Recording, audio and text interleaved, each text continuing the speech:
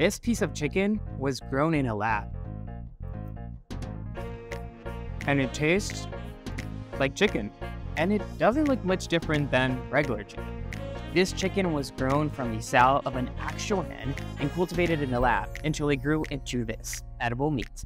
You'll actually be able to eat it as soon as this year. That's because the FDA has approved it as a safe product for consumers to eat. But before we all get a taste, I want to know will it be hard to convince people to bite into cultivated meat? Is it expensive? Most importantly, is it truly a sustainable alternative to industrial meat production? Let's find out. On this episode of Can It Save the Planet, I'm visiting the Upside Foods headquarters and interviewing the company's CEO, Uma Valeti, to learn more about producing lab-grown meat, its impacts on the climate, its limitations. I think you should be able to say this is chicken, this is real, there's just no question about it. And ultimately, find out if cultivated meat can save the planet. Presented by Astral Tequila. Let's start with why lab-grown meat exists and why it's having its moment. Lab-grown meat, or cultivated meat as it's being labeled, has gained popularity as a sustainable alternative to industrial livestock farming, which is one of the top emitters of greenhouse gas emissions. In fact, the agricultural sector accounts for approximately a quarter of global greenhouse gas emissions. Lab-grown meat could also stem the demand for traditional meat production, which, according to WWF, is the main driver of deforestation in places like the Amazon. In May 2022, a study projected that if we replace about 20% of global beef consumption with a meat alternative known as microbial protein, over the course of the next 30 years, we could cut deforestation in half. This suggests that switching to lab produced meat could reap similar benefits. The other thing making lab grown meat popular is that it's produced without having to slaughter billions of chickens and millions of cows a year. Vegans might also appreciate it depending on where they fall with their ethics. There are no animals dying here. But let's focus on the sustainability part. According to the Journal of Sustainability, livestock farming accounts for 16.5% to 28% of all greenhouse gas pollution. Lab grown meat is supposed to reduce that number. But by how much? Well, it could be as much as 87% to 96%. Now, those optimal percentage reductions come from two separate studies that compared lab grown meat with beef and beef, pork, and sheep meat, respectively. Each study also compared the use of land, water, and energy between lab-produced meat and livestock meat production. In one study, water and land usage saw drastic reductions from lab-grown meat production, with 96% less water use and 90% less land use. However, when it comes to energy demand, one study showed that lab-grown meat actually used 35% more industrial energy than conventional farmed beef. To learn more, I'm at an actual lab where they grow chicken meat. Chicken from Upside Foods, which has been approved by the FDA and is just waiting on one final approval from the USDA before it's sold in stores. Uma Valeti is the CEO here at the Upside Foods headquarters in Berkeley, a cardiologist turned entrepreneur. Uma believes in what they still call farming meat that is safe, healthy, and sustainable. What we do with cultivated meat is we take real healthy chicken cells from either eggs or birds, like a chicken that's growing up. We don't have to kill the chicken for it. That's the beauty. Take a few cells and let the cells grow outside the chicken in very similar containers like this. We feed them with nutrients that are very clean and things that we are very familiar with, like fats and sugars and proteins and vitamins and minerals. If you're thinking this place looks like a brewery, that's because it's a similar process. But instead of growing yeast, it's chicken. Well, a form of chicken. In the early days, it, it looks very like syrup. Just basically cells floating in fluid. As more and more cells get in there, it gets thicker and thicker and thicker. Once we harvest it, we decrease the amount of water in it. And then it just becomes like a form of tissue that is like much more texturized, much more tougher. Uma says it takes about two to three weeks to grow and harvest the chicken. Compare that with what it takes for a cow to go to slaughter. It takes two years for a cow, or nine months for a pig, and three months for a chicken. We can grow the same amount of meat in two to three weeks. We use drastically less resources, less water, less nutrients, less greenhouse gas emissions. That's one concern. The other is safety. But Upside Foods wouldn't have received FDA approval if this chicken wasn't safe to eat. Never have to deal with salmonella because we don't have animal feces in the facility. That's where E. coli salmonella comes from. Right? So what we are careful about is, you know, bacteria from our body being introduced or someone not cleaning a tank properly. And those are quality control procedures that are very well established. I couldn't leave the premises without trying the chicken myself, so we went into the test kitchen for a cooking demo and to continue my chat with Uma. what should I be looking for in, in texture, taste with this particular cultivated meat?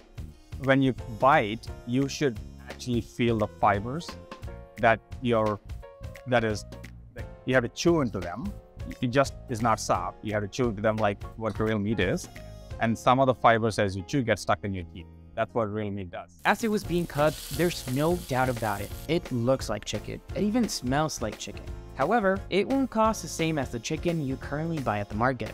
It's expensive to do it. And then the feed we use to grow the chicken is very expensive. And when we start building production facilities like this at scale, that's expensive to build. So cost is a hurdle.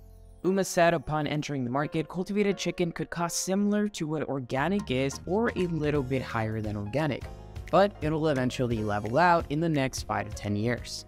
Now, the other potential hurdle is adoption rates. Mm, yes, 90% of the world to 96% of the world is mediators. All our studies are showing that there's a very high rate of adoption and expectation for this to hit the mark to get to market. Especially if you look at my kids or the Gen Zs or millennials, right? They love the opportunity to be able to go and buy cultivated meat. Like they're asking, when can I buy it? I, for one, am very excited to buy it. But for now, I'll settle with the cultivated chicken fillet Upside Foods prepared for me.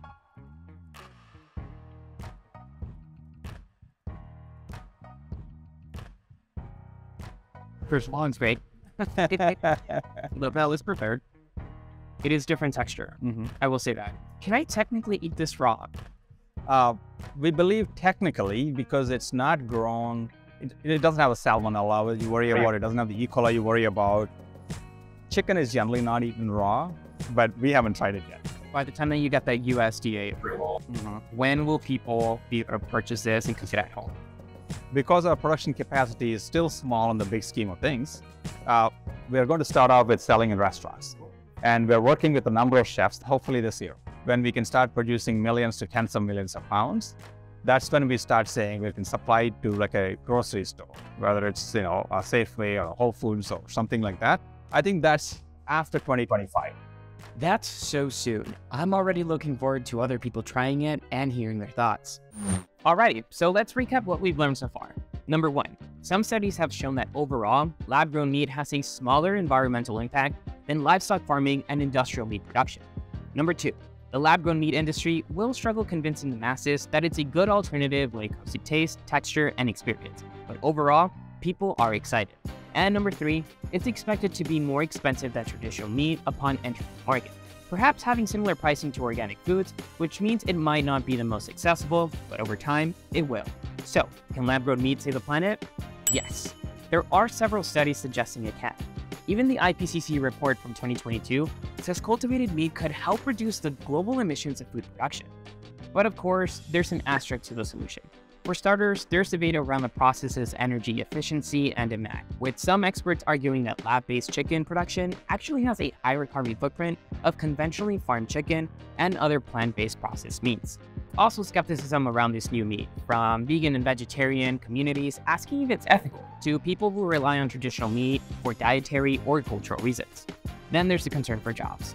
According to one study that looked at the impact of the meat alternative market on the US cattle farming and beef processing industry, more than 1.5 million jobs could be threatened. Yet, there's a lot of investment in this sector.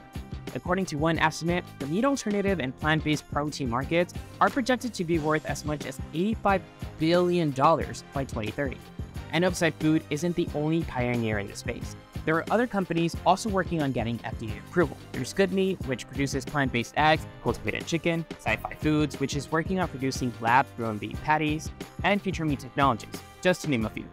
There are also companies trying to cultivate fish, like BlueNalu, which is growing Pacific bluefin tuna, and it's not just in the US where it's being produced. There's a company in Germany cultivating lab-grown fish and Singapore has been serving and selling consumers lab grown meat for a couple years now. From what I can discern, it seems very promising, and there are a number of studies out there that suggest there's a huge potential for reducing greenhouse gas emissions and saving land from deforestation. For now, it's good, and it tastes good. As you can see, I cleared my plate throughout filming this.